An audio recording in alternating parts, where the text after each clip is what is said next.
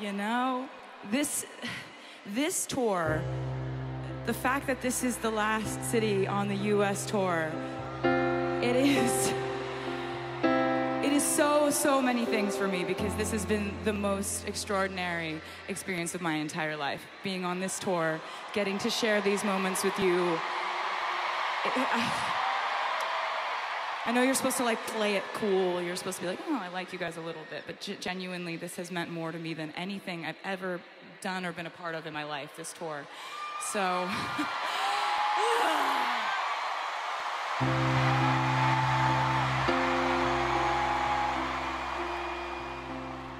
Ugh.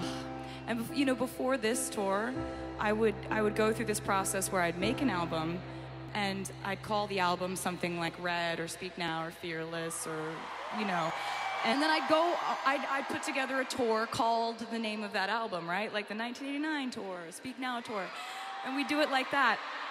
and I remember like, why why am I just do? Um, what is this? Why? Anyway, um, so with this tour, I remember people would come up to me and they'd be like, "So you've put out like five albums that you haven't done tours for. So what's your plan? Like, what are you gonna do? You're gonna just like do a show with like all all the albums in it, and it'll be like what? It'll be like a three and a half hour long show."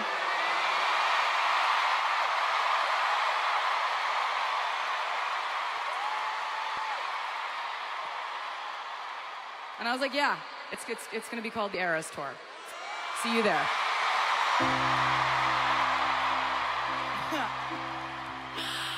so, we are currently in the Evermore era, and um,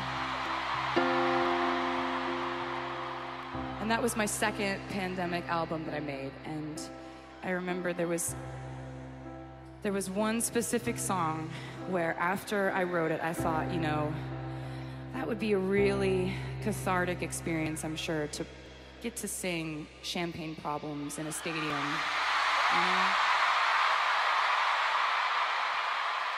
So let's do it.